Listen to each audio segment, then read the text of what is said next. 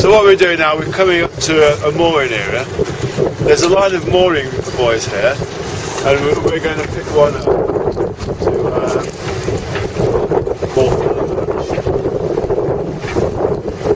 There's a space up there, someone's just come out, but they're ahead of us.